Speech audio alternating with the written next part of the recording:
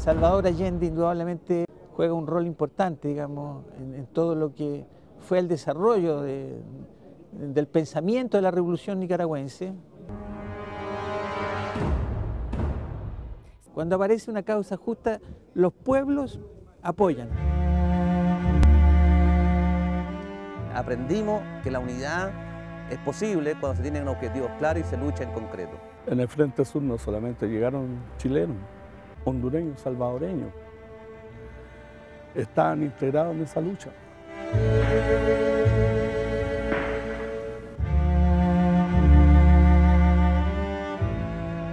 Nosotros habíamos sido conformados como una fuerza militar a partir del año 75 bajo una propuesta que hizo la principal dirigencia de la Revolución Cubana de conformar cuadros militares para responder a la necesidad de un vacío histórico del Partido Comunista.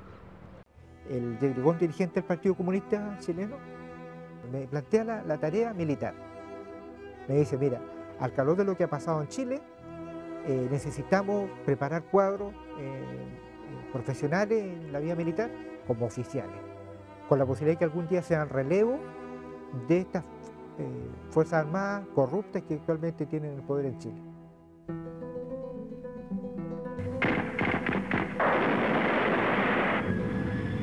Que aquí se formaron chilenos en la Marina de Guerra, se formaron chilenos en tropas generales, se formaron chilenos en artillería.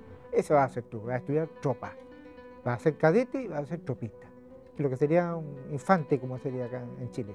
Como oficial regular, el, grado que me correspondía en ese momento era de primer teniente.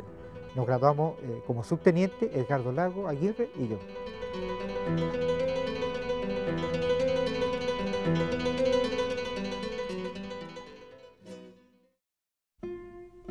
Sandinistas muy hábilmente planifican un, un programa estratégico de ofensiva final, en la cual le piden ayuda a Cuba.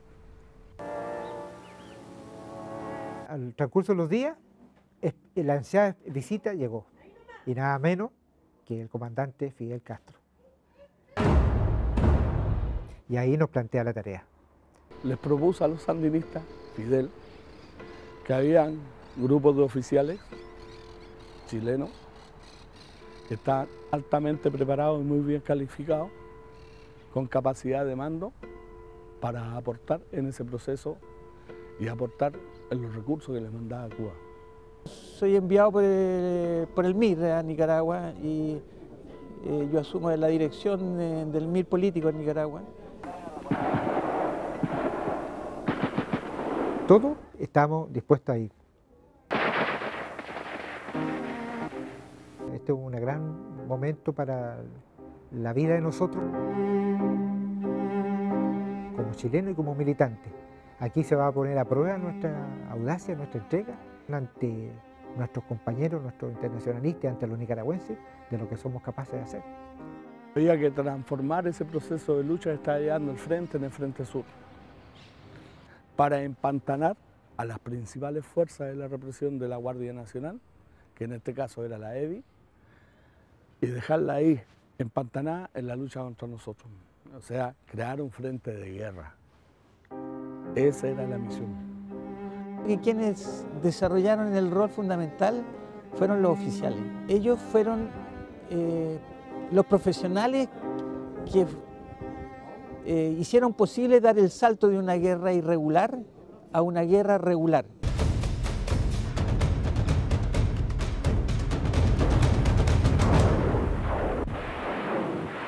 Me asignaron un RPG-2, un lanzacohete antitanque, una ametralladora eh, pesada, una ametralladora BZ pesada, empezamos a avanzar. Mientras el enemigo nos atacaba con, por vía aérea, con los push and atacaban porque sabían que se movían fuerzas de las regiones de concentración, empezaban a atacar los vehículos que eran de desplazamiento.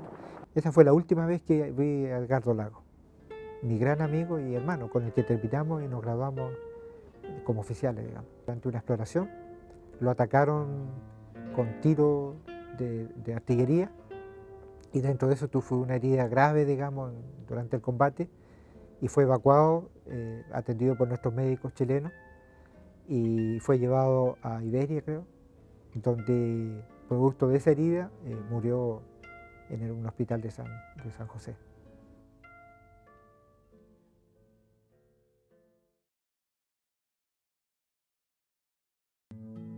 Después del triunfo, se incorporan muchos más compañeros. Se incorporan los que todavía están estudiando en la escuela de cadetes. Hay como tres generaciones que van entrando. También el aporte de los chilenos que fueron como profesionales, que, en todos los ámbitos, de la educación, de la salud, eh, ingenieros agrónomos, eh, asistentes sociales, en fin, todo eso cumplieron un rol muy importante en la reorganización de la sociedad porque Nicaragua fue absolutamente destruido. El Estado, prácticamente no existía Estado. Y en ese proceso de reconstrucción nacional viene el tema de la defensa de la revolución.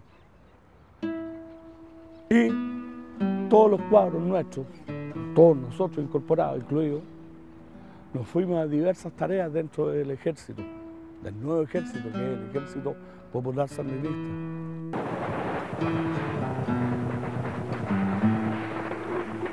Y ahí se sintió la necesidad de más oficiales que se han enviado. Eh, llegamos en el periodo 84-85, un contingente bastante importante de, de oficiales del Partido Comunista de Chile. Se da en el marco de la rebelión popular. Se nos envía para hacer una práctica eh, concreta en, el tercer contingente, me corresponde a mí, eh, para la lucha contra la invasión a Nicaragua, organizada por la CIA y el, Pentágono. Habían semanas de guerra así, de tiro, tiro todos los días, tiro, tiro.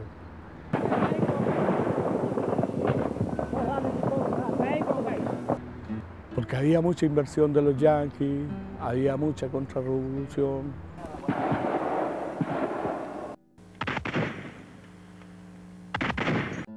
El rol que jugamos los chilenos, yo te digo ahí, fue aportar desde el conocimiento de la base, como jefe de pelotón.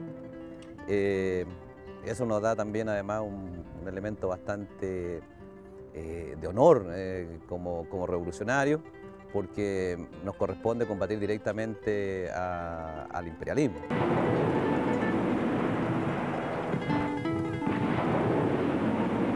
Al mismo tiempo yo era médico, y yo había, digamos, hecho una especialidad en Europa, que era la radiología. Entonces yo me metí muy de lleno en, la, en el sistema de salud de Nicaragua, fundamentalmente para impulsar la organización de la radiología en Nicaragua.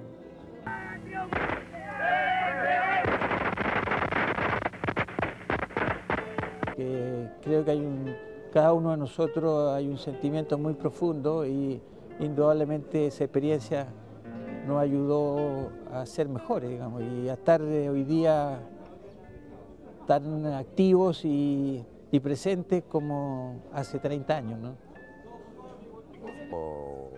Los oficiales, lo que podemos hacer, eh, nuestro mejor aporte, es incorporarnos al movimiento real eh, que se da hoy día, eh, para romper definitivamente con la dispersión política, probamos en la práctica que si el pueblo no se incorpora, si, sus organizaciones naturales no se incorporan a la lucha más decisiva, el aspecto técnico no resuelve nada.